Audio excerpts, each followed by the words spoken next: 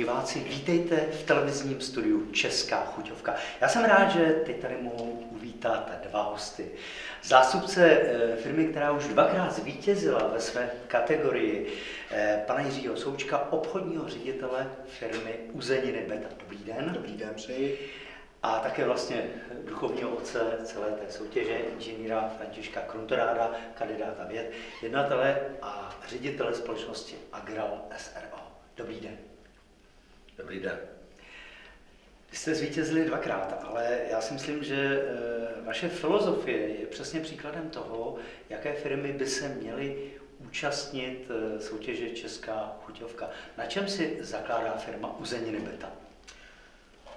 Eh, já bych asi začal spíše právě tou českou chuťovkou, kdy my jsme, nebo naše firma vnímala jakoby přetlak nějakých soutěží, ocenění, které už byly, dá se říct, přebrané nebo i trošku více zmedializované a neviděli jsme tam nějakou úplně prosperitu pro naši nebo perspektivu pro naši firmu. My jsme výzvu účasti v České chuťovce, vlastně dá se říct, jakožto nový výrobce úzenářského sortimentu na trhu, kdy naše výrobní historie, dá se říct, je krátká, je tříletá nebo nyní čtyřletá, eh, tak eh, jsme chtěli zákazníkům ukázat, že i v dnešní době se dá uzenina, dobrá uzenina, vyrobit, dá se říct, nějakým vztahu eh, k tradici, k historii řemesla a k tomu nám vlastně Česká chuťovka ideálně napomohla. My jsme v roce 2011 přihlásili poprvé do této soutěže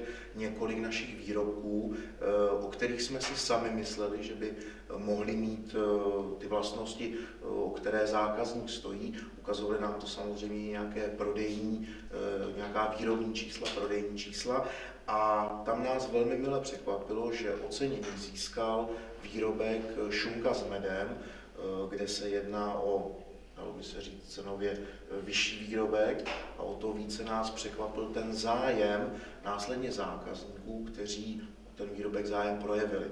My jsme abych řekl, jako využili uh, té propagace, toho, toho ocenění, kde jsme se zaměřili na uh, jakoby širší eh, teď řeknu špatně, nebo rozšíření toho podvědomí o získání té značky pod záštitou právě Coop eh, Centra, kde Coop Centrum patří mezi naše významné zákazníky, takže v podstatě na prodejnách jednotlivých družstev se začaly eh, objevovat letáky se získaným oceněním a to pomohlo vlastně zvýšení toho zájmu těch prodejen o ten oceněný výrobek.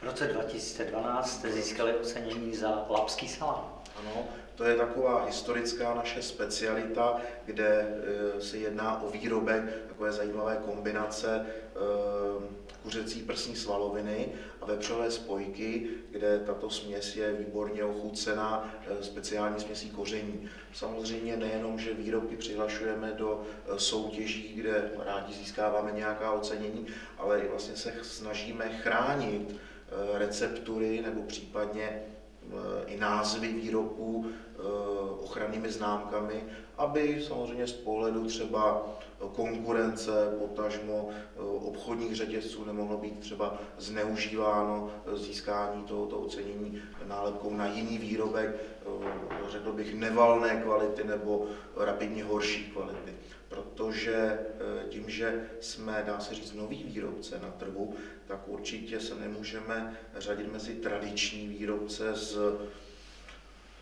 sortimentem 100-150 výrobků, ale naše výroba se specializuje na tradiční výrobu, eh, dá se říct s ohledem na tradici řeznického řemesla, kde se snažíme i našim vlastně zaměstnancům ve výrobě vštěpovat nebo je utvrzovat v tom, že vyrábí něco budu říkat asi jedinečného, ale něco nestandardního něco dobrého, aby si i vážili toho vlastně, jakým způsobem to vyrábí, jak to upravují, opracovávají a dávají vlastně té vstupní surovině chlazené, dávají tu konečnou tvář v podobě zabaleného, označeného výrobku připraveného k expedici pro zákazníka.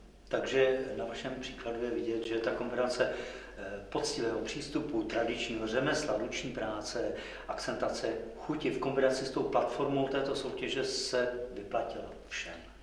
Určitě ano, já myslím, že i já jsem takový příklad toho, jak bylo dříve řečeno, že ne všechno eh, tučné je dobré, zdravé. Já třeba bych se velmi rád zúčastnil hodnotitelské komise, protože eh, jako Čech a řekl bych řezník jídlo mám rád, což eh, je na mě i vidět a rád se takovýhle akcí zúčastním. A to přenášíme i dál, nejenom na výrobní sféru, ale i na obchodní sféru, aby samozřejmě i zástupci firmy měli vztah k té uzenině a byli spokojeni při té nabídce našim zákazníkům. Eh, pane Dželíre, jak se na to díváte ze zorného úhledu jednoho z pořadatelů na takovéto firmy a takovýto přístup?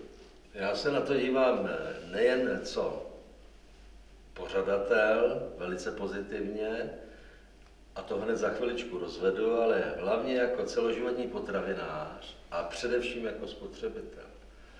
Řekl bych, že co nejvíc podle mého hodnocení, a myslím si, že je obecné, eh, na našem trhu chutného chybělo v minulé době, bylo zejména najít vysoce chutný a kvalitní masný výrobek. Musím teda přiznat, že v posledních letech se to radikálně změnilo. I velké firmy zastřihaly ušima, pardon ten výraz, ale je skoro přesný, a vlastně se nechali motivovat firmami středními, mezi něž uzeniny beta patří, které těm velkým začaly eh, trošku, jak se říká, konkurovat a foukat do obchodu, protože u těch velkých firm se velmi eh, nesnadno dosahuje ta pružnost, kterou se reaguje na to, co trh okamžitě má šanci vstřebat.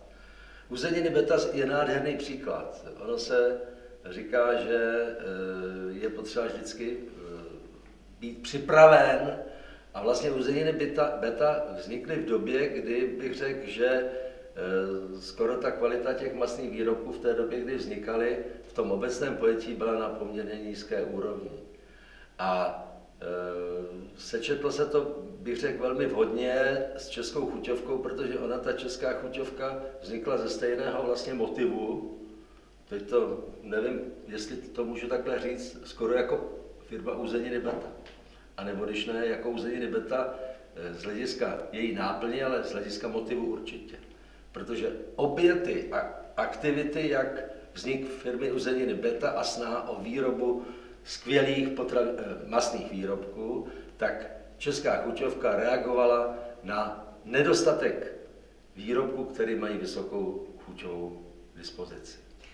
Takže my fandíme takovýmto firmám, eh, velice si ceníme nejen to, že se zúčastnili a rozšiřují základnu eh, soutěžících v České chuťovce, ale máme nesmírnou radost, co pořadatelé, že oni jsou jedni z nich, jedni z těch, kteří i nám včas avizují a eh, máme z toho nesmírnou radost, obchodní výhody nebo obchodní úspěchy, které jsou českou chuťovkou ovlivněny. Takže je to vlastně i zpětná vazba, která určitě, určitě. Eh, takže dá se říct si, pánové, v přeneseném slova smyslu, že eh, platí jak při výrobě takových dobrutek, jak při pořádání takové soutěže, že láska prochází žaludkem, že je tam potřeba co si navíc ještě, takové to srdce. Jestli k tomu mohu, tak si myslím, že právě určitě ano, eh, že to, jak říkal pan kolega, eh, let, kteří velcí výrobci eh, dodavatelé pro nadnárodní řetězce, tak nejsou schopni zcela při své velikosti eh, tohle do toho zakomponovat do té výroby, protože oni samozřejmě musí vyrobit jednoho výrobku 30 tun pro nějakou akci pro řetězec. A my v našem portfoliu výrobků eh, máme zhruba nějakých 60 eh, položek a ty vlastně rukama těch zaměstnanců projde každý ten výrobek, každý to kilo a mají právě tu možnost se s tím nebudu říkat polaskat, ale my to kolikrát používáme, protože eh, ten člověk u nás je lehce dohledatelný za tou svojí prací. Protože když budete něčeho vyrábět 30-50 tun šarži, tak samozřejmě nevíte, jestli to tam hodí eh, Toník, Pepík nebo Honzík, ale u nás tím, že ty pozice jsou daný, neměný, tak samozřejmě, když se objeví chyba v jakémkoliv výrobku u zákazníků, tak my si naprosto jednoduše eh, nebo nemusíme na to mít nějaký sešity o, dohledat, dohledatelnosti, ale selským rozumem zjistíme, že surovinu na to chystal tenhle člověk, eh, tady ho narážel do střeva tenhle člověk a balil ho tenhle člověk. Takže samozřejmě tím, že je tam méně těch zaměstnanců, kteří do toho můžou zasáhnout, tak o to je to jednodušší a je to práce příjemnější. Pane inženýre, v jakém stádiu je příprava dalšího ročníku České chuťovky?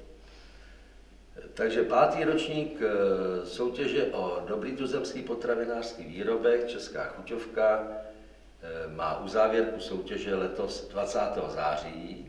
To znamená, do 20. září se všichni výrobci musí přihlásit se svými výrobky. Eh, všechny informace, které vedou k tomu, aby věděli, jak vyplnit, kde sehnat přihlášku, jak vyplnit přihlášku, už máme vlastně ve světě, jak formou přes Facebook, tak formou přes internet, tak přes naše tituly potravinářský zpravodaj, potravinářská reví a řeznickou zenářské noviny. E, vlastní, vlastní, soud, vlastní hodnotitelské, práce hodnotitelské komise proběhne v, první, v prvním týdnu v říjnu a 14 dní na to e, v Senátu České republiky bude slavnostní vyhlášení vítězů. Pane Jiří, jestli to není tajemství, co přihlásíte eh, do soutěže?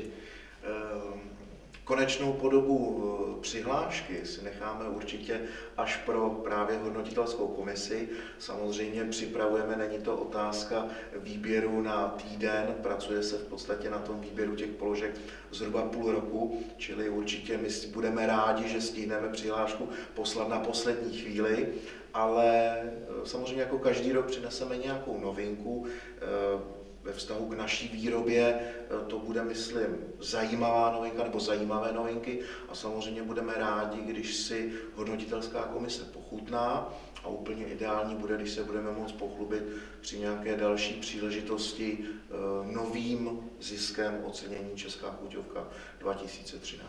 Tak já vám přeju stejný úspěch jako v případě šumky s medem nebo lapského salámu. Pánové, děkuji vám za návštěvu ve studiu České chuťovky a vám, vážení diváci, děkuji za to, že jste spolu s námi nahlédli do tvůrčí kuchyně této české soutěže.